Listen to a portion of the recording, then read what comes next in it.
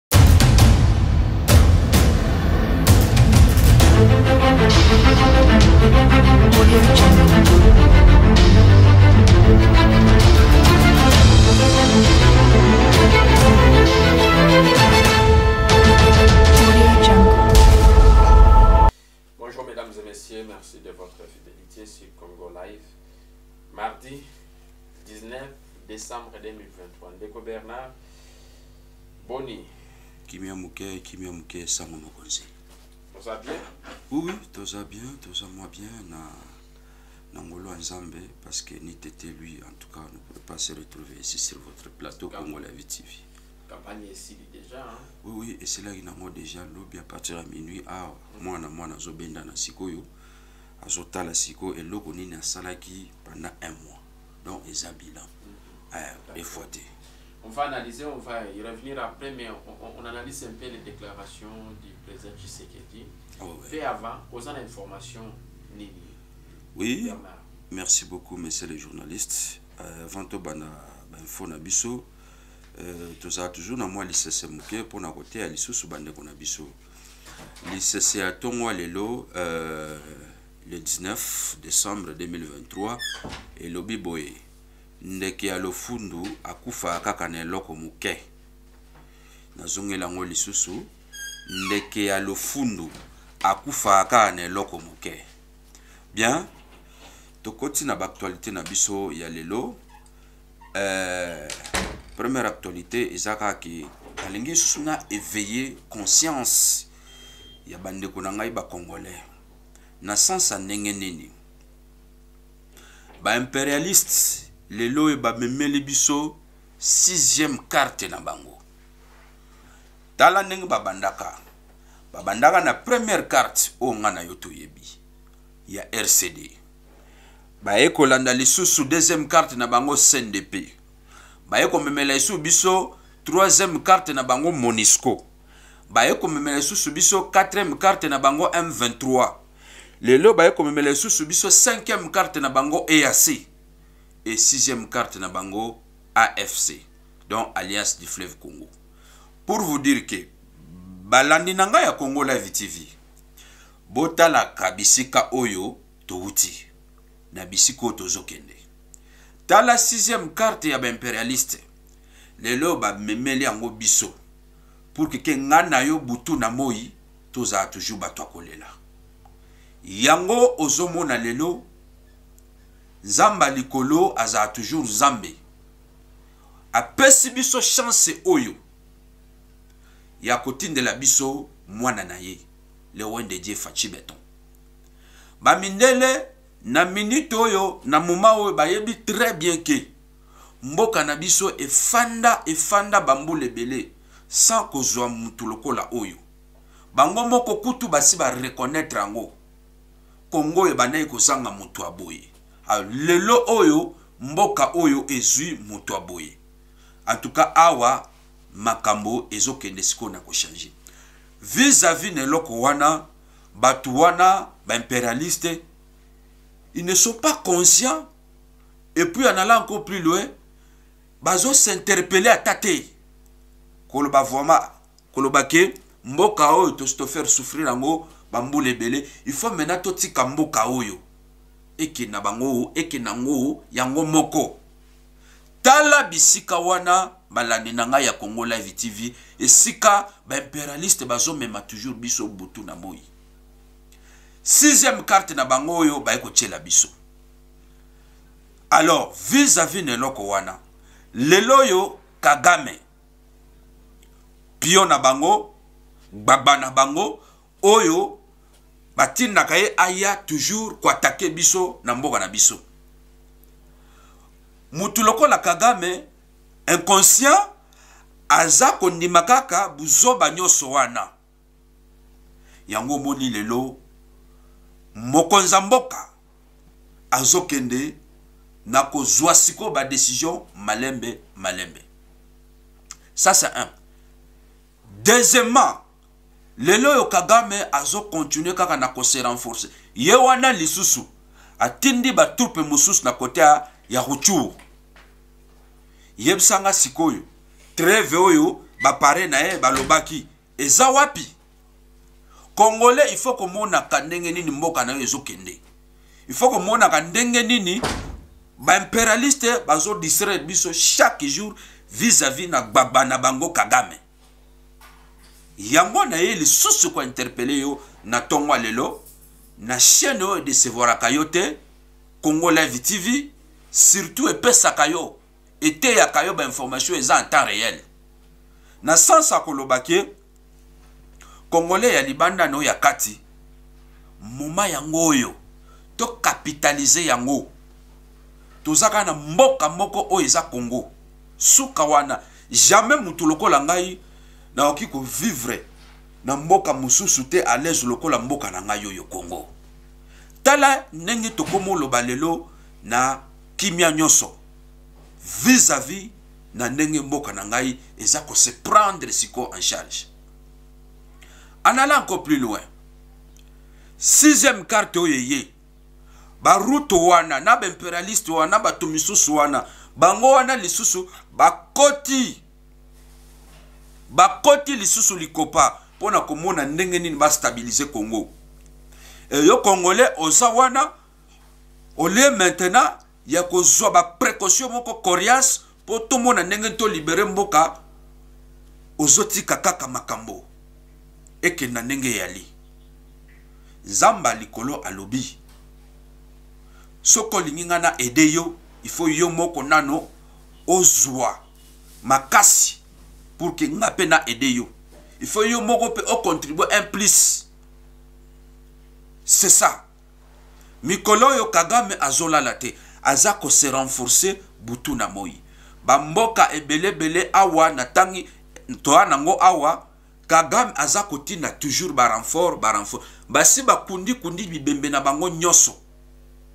Awa sikoyo sixième carte oyo eye baotala ndenge nini parce que bato na bango bo baomibenga ba bakongole baza na bango il faut kongole oyebaka eloko oyo bato na bango basi bafabrike na kati ya mboka na biso baa na bango mpo na koprepare sikoyo soki lelo oyo nzambe ya likolo e, kongole aponi motu oyo ye alingi bamona ndenge nini bakosala me toa na assurance moko oyo eza vraiment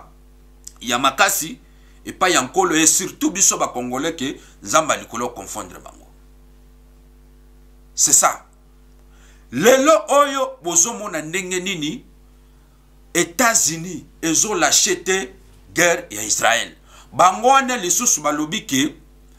bazokontinue na koarme butu na moi israel eloko wana ete ya biso lobi falaki bakɔta réunion bamona nini bamona ndenge nini bakodecrete cesse le feu par rapport na bitumba oyo ezoleka na israel mpo na palestine mais e, esimbamaki te bomi bakokota yango lelo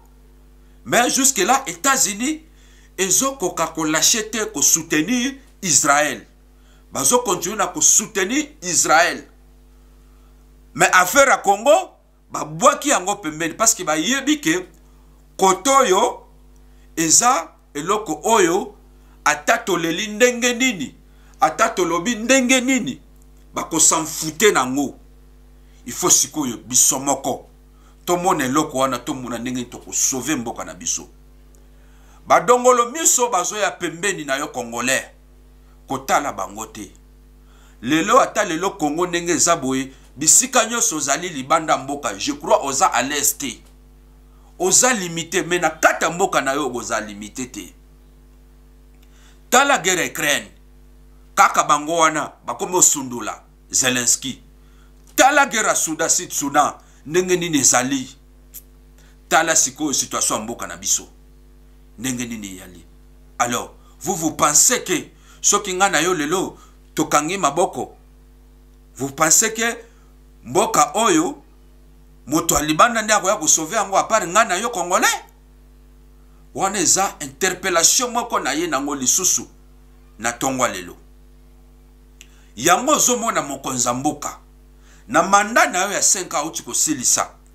soki otali très bien manda oyo 5 ans asalelaki yango na ndenge esengeli te nga kutu nazo compte asalaki nde une année et demi na kati ya manda na ye ya 5 ans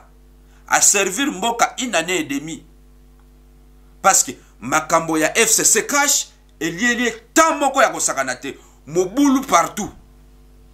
bato wana mal étentionné ndenge bazala azala kaka balinga batikelaki ye temps te agere mboka ndenge elingi tobimi wana toke na makambo ya covid yango mpe elie biso ta moko molai tala makambo euh, y compris lisusu baaventure oyo m23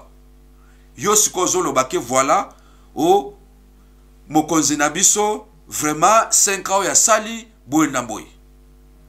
Omweke ozomona obanda otala te ba contexte oyo ebanda ebanda okomela biso na kata mboka na biso. Yango ozomona mokonzi ya mboka azolala te, aose laisser faire te. Coûte que coûte, il faut alakisa congolais nyonso oyo abengami congolais plan na ye. Pour asentir que voilà ngai nayaki te mpo nasala buzoba na kati ya mboka na ngai nayaki nde nasepelisa kongole nasala mission oyo nayelaki parce que ye aza na mandat te ayelaki nde mission c'est ça Alors. monsieur le journaliste interpellation nalingaki na loba lisusu na bacompatriote oyo balandaka biso oyo bamesana kolanda chaîne oyo ya sire ya kitoko congo live tv Bernard. Euh, oui oza information yini mosusu bainformation eza ebele bainformation eza ebele mwana mboka nauti koloba awa ke rebel azosanfute na makambo nyonso bapare na ye bazoloba en allant ko plus loin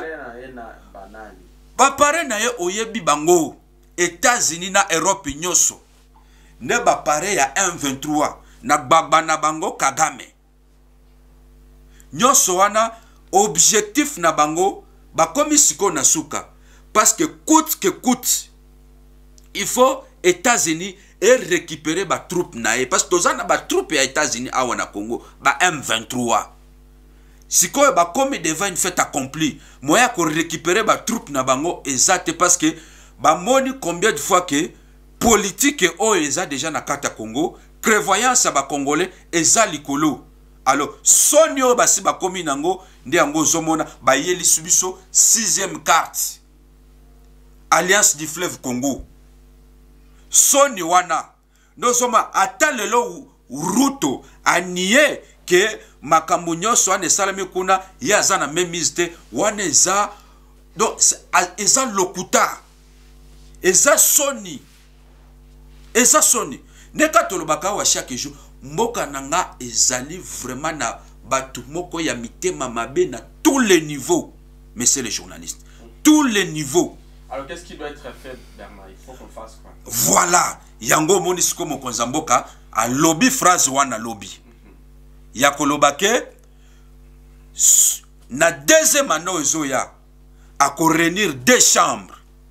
pour ke adécrete sikoyo guerre finale na rwanda parce que deux chambres wana nde bandaki kobloke ye yo yo moko oyebi mokonzi ya mboka ngaka asala guerre te vis-à-vis sans accord ya deux chambres wana lobi alobi yango na ndenge alobi yango toza na yo wana aza mwana mukishi emata ekita rwanda bakolatisa ye sikoyo nzoto eloko ya bandoluka parceke na minute oyo ndenge oyo toyali mokonzi ya mboka atikelaki bango chance na bapare na ye baimperialiste wana atikelaki rwanda chance atikeli 1 23 chance atikeli sikoyo bapare na ye mpe chance alakisaki deja bonne foi na ye ya, ya coopération vis-à-vis na eloko wana bazalaki kocomprendre te omoni soki ozotya na motu na yo ke ozonyokola motu moko boye otya yango na motu ke ozonyokola motu wana au contraire motu wana ozoteya nde ye ozoentraine nde ye parce que coute que coute nauti koyebisa yo awa kutu ke kutu mutu wana abalukelaka yo bapreceptere oyo mokonzi ya mboka azuaki mpo batala ndenge nini mboka na biso ekende lelo baye kolakisa incapacité na bango lelo sikoyo mokonzi ya mboka ye moko azozwa cre azozwa sikoyo stylo nde place wana sikoyo etats-unis ekomi kobanga ekomi kobanga nde omoni mokonzi ya mboka alobi phrase wana na kebaka ntango mokonzi ya mboka alobi baphrase ya bongo yebaki wana delige esiko ezokoma ndenge alobi bongo mpo na rwanda rwanda na minito nayebi ke bato wana eza mpo kaka baa na chance parce que félix antoine sekedi ayali baa na chance parce que arrive ya mokonzi ya mboka faci beton eye kotinda mpena kagame wana azala ndenge azali lelo bonne foi ya mokonzi ya mboka nde lelo kagame ayali nite te bonne foi ya mokonzi ya mboka te mbe lelo kagame aza te epuis na lire ndenge tozokende nazoye biso monsieur le journaliste toza na yo tokolobaka kaka o c'est ça bernard on va finir par la campagne électorale qui s'est clôturée hier demain c'est le vote et moi comment vous trouvez cela la mobilisation ça a été hier à goma oui oui très fort En tout cas, mobilisation yango eza très très forte na emission monsieur monsieur le journaliste na sens ya ndenge nini. Eloko kaka moko ekamwisaki nga na na campagne oyo na constate ba candidats ebele surtout ba candidats municipaux, provincial, même même au niveau national baza ko affronter peuple te. bazofanda fanda nayebi sisoko bazofanda bakote nini bati kaka bamituka esala bacarnaval au moment où campagne ezalaka na objectif o affrontre peuple o affronte peuple ko me yo ofandi na yo soki na biro no soki na chambre na yo sikoyo peuple akoyeba nini nde eloko kaka moko oyo namonaki ke vraiment campagne oyo na ndenge esili surtout awa na goma esili nango très bien mais problème moko kaka wana namonaki ba candidat pena ebele te ba affronte peuple epuis lisusu anala nko plus loin vis-à-vis na campagne oyo bacongolais bafungwa miso ebele parce que congolais akomi deja na niveau ya koyeba ke oyo ya kosalela mboka oyo ya kosalela mboka te e surtout baoyo ya jare ya boye bazoya nde kopiye mboka bazoya nde kobalkanize mboka na sepel na eloko wana parce que partout tozoleka ozomona mpena congolais ya de père et de mère bazoloba clairement bike moto oyo aye nde kokata mboka tokovote ye te na sepeli na eloko wana oyo bakongole basi bacomprendre parce que propagande oyo eteyi biso makambo ebele eteyi biso makambo ebele monsieur le journaliste parce que tocomprendre niveau ya bandeko na biso bacongolais ndenge nini basi bafungwami mutu bayebi kandida efo ngai napona mpo kongo na ngai ekende liboso ifo oyo alors lobi a partir ya 0 heure fin awa sikoyo mutu na mutu akomi kotala nini oyo alobelaki peuple parce que eloko nyonso esengaka causerie eza lokola ndenge tosa eh, bapolitisien basalaka diplomatie diplomatie nyonso esengaka kosolola mais soki oza na diplomatie ya charisme eosimba nango te il faut kosolola il faut osala bacontact awa siko kandida nyonso akomi kotala siko eske nasololaki na bato eske nasalaki bacontakte na bato parce que vis à vis eloko wana nde kotinda ye bapona ye Est-ce que pensez-vous qu'on va élire Tshisekedi demain? nayebisi yo tozokɔta terrain na bakoka na bandundu donc kutu na bana misusu mike bazolela ke mbele ata nzambe asalisaki ngai nasi nakokisi ata 18 ans mpo napona kaka Felix Antoine Tshisekedi. Nazo ebiso monsieur le journaliste. Congolais asa yebi ce qui est dans Felix Antoine Tshisekedi. Bato misusu wana ozomona Congolais vraiment asa yebi ke moto oyo aza candidat ya ba imperialiste. Moto aza candidat ya ba Congolais. Vis-à-vis na eloko wana nde kotina bapona Felix Antoine Tshisekedi. Parce que bamoni très bien ke ye quand même aza na lumière mpo na mboka Congo. Contrairement na baoyo bazomibenga ke voilà bango eh, soki baleki na kati ya Congo oyo alors dans 6 mois bakosisa guerre ya M23 tala babiloko wana elakisi clairement ke donc aza de meshe na barebele oyo oh, ngai na yo mikolo tozozwa mpasi vis-à-vis na barebele esi congolais sikoyo akontinue na koloba moto ya boye azoloba ke soki aleki lelo akosisa bitumba oyo dans 6 mois pour vous dire que vraiment aza na bango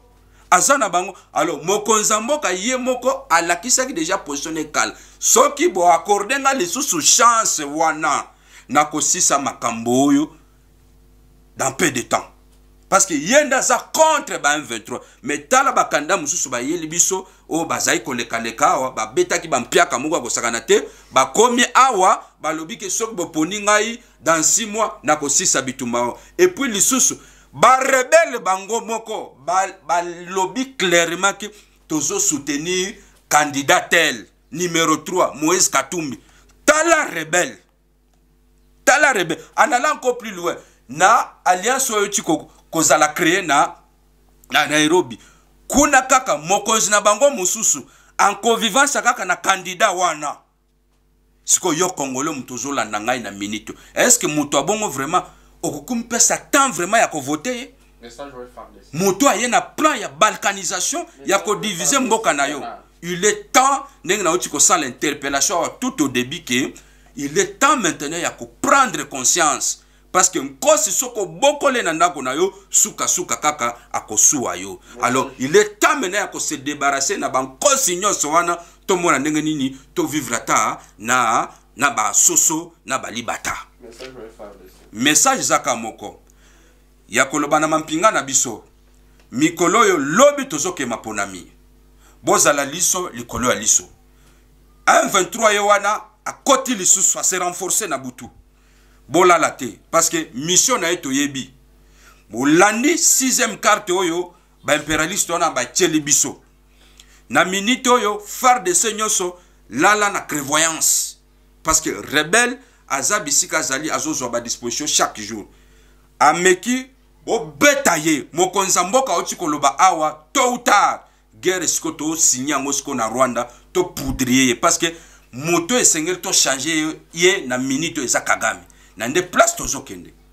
bolala te bozala vraiment vigilant vigilant ya makasi congolais nyonso oyo alingi mboka na ye aza nsima na bino mampinga yekolo baforce na biso wazalendo baforce na biso bafardc congolais azolala te mabondeli epa na bino bolala te s'il vous plaît